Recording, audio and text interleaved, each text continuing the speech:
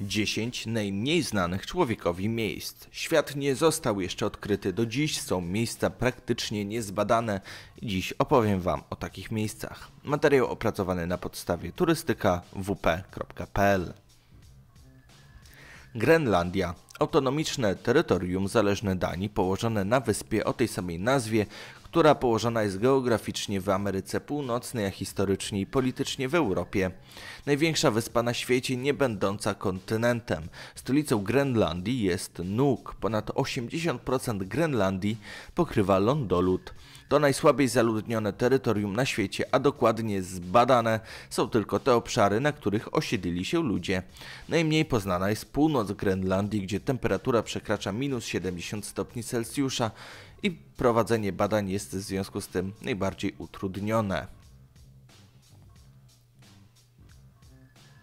Góry Jarigis Jerigis pokrywają lasy tropikalne północnej Kolumbii. Do niedawna żaden naukowiec nie zapuszczał się w te rejony. Dopiero w 2000 roku podjęto pierwszą ekspedycję naukową. Wyprawa zakończyła się sukcesem. W 2004 roku odkryto tam nowy podgatunek ptaka z rodziny trzandlowatych. Nadal pozostaje tam wiele nieodkrytych roślin i zwierząt.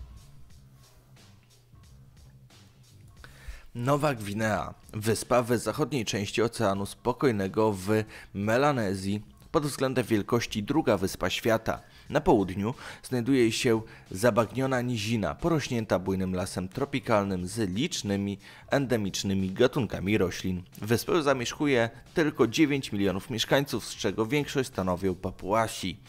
Nie ma roku, by nie odkryto tu kolejnego plemienia lub gatunku roślin czy zwierząt. Najmniej poznanym, a jednocześnie najbardziej zagrożonym rejonem jest środkowa część wyspy. Niszczycielska działalność człowieka związana z przemysłem wydobywniczym może uniemożliwić lepsze poznanie tego bajecznego zakątka świata. Antarktyda Kontynent położony najdalej na południe Ziemi. Znajduje się na nim geograficzny biegun południowy. Kontynent jest położony w rejonie Antarktyki na półkuli południowej niemal w całości na południe od koła podbiegunowego i jest otoczony przez Ocean Południowy. Jedyny kontynent, który jest stuprocentową anekumeną. Antarktyda jest zarządzana wspólnie przez państwa, które mają prawo głosu w ramach systemu traktatu antarktycznego. Traktat ten został podpisany w 1959 roku przez 12 państw. Do tej pory podpisało go 53 państwa, w tym Polska. Zakazuje on działań wojskowych i wydobycia surowców mineralnych, prowadzenia prób jądrowych i składania odpadów jądrowych. Wspiera badania naukowe oraz chroni faunę i florę kontynentu. Badania naukowe są prowadzone przez ponad 4000 naukowców z wielu krajów. Antarktydę pokrywa lód głębokości ponad 3 km i nikt właściwie nie wie, co się kryje pod nim. Naukowcy przypuszczają, że mogą istnieć tam rzeki, które przecinają kamienistą ziemię. Ostatnio odkryto podlodowe jeziora, ale na razie nie wiadomo, czy istnieje w nich życie. Jak dotąd nie zbadano również dna tutejszego oceanu. Gankar Puensum Góra o wysokości 7570 metrów nad poziomem morza, najwyższy szczyt Butanu, 47 szczyt Ziemi i jednocześnie najwyższy niezdobyty szczyt świata. Od 1983 roku miały miejsce cztery ekspedycje. W 1985 i w 1986. Wszystkie zakończone niepowodzeniem. Gankar Puensum znaczy biały szczyt trzech duchowych braci. Jego wysokość została zmierzona po raz pierwszy w 1922 roku.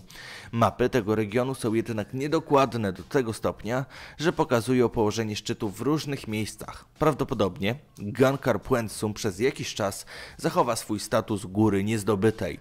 W 1994 roku władze Butanu zakazały wspinaczki na szczyty wyższe niż 6000 metrów ze względu na poszanowanie dla lokalnych wierzeń. Od 2003 wspinaczka w Butanie jest zabroniona całkowicie. Sahara Strefa pustynna położona w północnej Afryce. Jest ona największą gorącą pustynią na Ziemi. Mimo, że znamy już wszystkie pustynie na naszej planecie, to nie przeprowadzono jeszcze długofalowych badań związanych z ekosystemami i zdolnością przeżycia organizmów w tych niegościnnych rejonach. Mimo, że Sahara czy też inne pustynie są znane na całym świecie i często odwiedzane przez turystów, to znajomość tych terenów wciąż jest niepełna. Podróżnicy poszukują tu przygód, naukowcy wiedzy, ale zarówno jedni, jak i drudzy czasem przypłacają swoje wyprawy życiem. Rów Mariański, najgłębszy znany rów oceaniczny na Ziemi, położony w zachodniej części Oceanu Spokojnego, na południowy wschód od Marianów. Najgłębiej udało się zejść reżyserowi Jamesowi Cameronowi 25 marca 2012 roku. Wraz z kamerzystą osiągnęli głębokość 10 989 metrów i spędzili w rowie mariańskim 6 godzin filmując i pobierając próbki. Dzięki ich pracy z pewnością uda się lepiej poznać ten nieznany i niezmiennie fascynujący obszar. Syberia, kraina geograficzna w północnej Azji, wchodząca w skład Rosji, położona między Uralem na zachodzie, Oceanem Arktycznym na północy, działem wód zlewisk Oceanu Arktycznego i Spokojnego na wschodzie oraz stepami Kazachstanu i Mongolii na południu. W ujęciu historycznym do Syberii należy również rosyjski Daleki Wschód. Powierzchnia Syberii w zależności od przyjętego przebiegu jej wschodniej granicy to około 10 lub 12 milionów kilometrów kwadratowych. Jej zachodnia część jest pokryta lodem, środkowa i wschodnia to niedostępne pasma górskie. Występują tu zarówno arktyczne pustynie na dalekiej północy, jak i lasostepy na południu. Wyprawy biologów i geologów badających tutejsze ekosystemy koncentrują się obecnie na obszarach północno-zachodnich. Tak ogromna miejscami dziewicza przestrzeń jeszcze długo pozostanie fascynującym terenem zarówno dla podróżników, odkrywców, jak i naukowców. Jaskinie. Wciąż nie znamy dokładnej liczby jaskiń na naszym globie. Najgłębsze groty na świecie, takie jak jaskinia Krubera w Gruzji, fascynują zarówno naukowców, jak i innych turystów, którzy nieustannie próbują dowiedzieć się czegoś więcej na ich temat. Najlepiej zbadano europejskie i północnoamerykańskie groty, natomiast najwięcej niezbadanych dotąd jaskiń znajduje się w Chinach. Amazonia region w Ameryce Południowej w dorzeczu Amazonki, na obszarze Boliwii, Brazylii, Ekwadoru, Gujany, Gujany Francuskiej, Kolumbii, Peru, Surinamu i Wenezueli, obejmujący nizinę Amazonki, południową część Wyżyny Gujańskiej i północno-zachodnią część Wyżyny Brazylijskiej. Niektórzy politycy i dziennikarze uważają, że Amazonia jest obszarem międzynarodowym i należy do całej ludzkości. Al Gore powiedział w 1989 roku w przeciwieństwie do tego, tego, co myślą Brazylijczycy, Amazonia nie jest ich własnością. Należy do nas, wszystkich. W brazylijskiej prasie temat wywołuje wiele kontrowersji. Rząd i społeczeństwo uważają, że takie argumentowanie uderza w ich narodową suwerenność. W Brazylii trwa publiczna dyskusja o tym, czy Amazonia może być zaatakowana, co doprowadziłoby do wojny. Granica państwa jest patrolowana i strzeżona przez brazylijską armię. Amazonię porasta 50% wszystkich lasów tropikalnych na naszym globie. Naukowcy, jak dotąd zbadali tutaj ponad 2000 gatunków ptaków, 2,5 miliona owadów i ponad 400 tysięcy gatunków roślin. Jednak ta monstrualna puszcza kryje jeszcze niejedną tajemnicę. Jeśli uda się ją ocalić przed zniszczeniem, być może wkrótce dowiemy się o niej o wiele więcej. Obawiam się jednak, że rządy tego faszysty Bolsonaro doprowadzą do zniszczenia kolebki natury na naszej ziemi. Dzięki za obejrzenie do końca. Mam nadzieję, że ten odcinek Wam się podobał.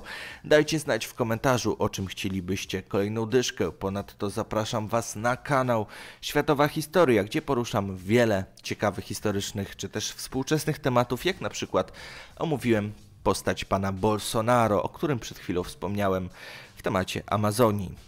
Zostawcie również komentarz oraz łapkę w górę. Koniecznie subskrypcję, bo powoli zbliżamy się do 100 tysięcy. Małymi kroczkami, powoli, ale jednak się zbliżamy. Mam nadzieję, że w końcu się uda. Dzięki za obejrzenie do końca. Cześć!